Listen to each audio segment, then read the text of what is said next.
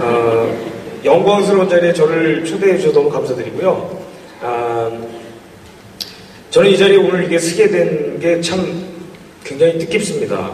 어, 방금 노래 참 잘했던 창조군도 굉장히 어렸을 때 제가 봤어요.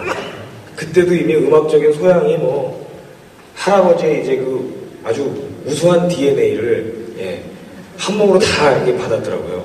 참 부러운 친구인데 악기도 뭐 웬만한 악기는 다 혼자 다 하고 뭐 작곡, 편곡 실력 뭐 어린 나이에도 벌써 어, 대단한데 어, 앞으로 뭐 이름만큼 신화를 창조하지 않을까 그런 생각이 듭니다. 네, 네, 그렇습니다.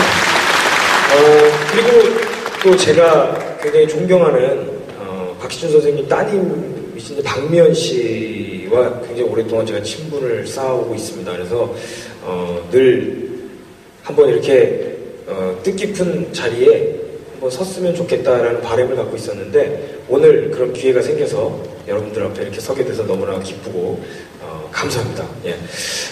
예. 어, 저도 이제 앞으로 뭐, 어, 좀 열심히 활동하면, 어, 나중에 제가 이 세상을 떠나더라도 이렇게 또 저를 위해서, 아이고, 그럴 수 있지 않습니까? 예. 얼마나 영광스럽습니다. 그런 자리가 만들어질 수 있는 그런 가수가 될 수 있도록 저도 열심히 또 노력을 하도록 하겠습니다. 예. 고맙습니다. 저는 한 곡 더 들려드리고 인사드리겠습니다.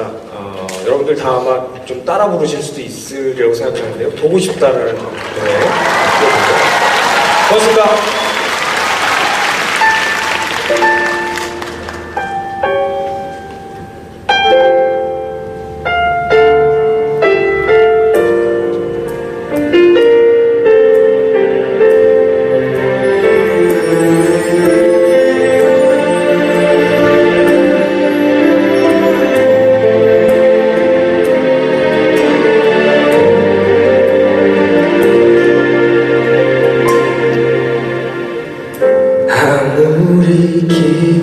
기다려도 난 못가 바보처럼 울고 있는 너의 곁에 상처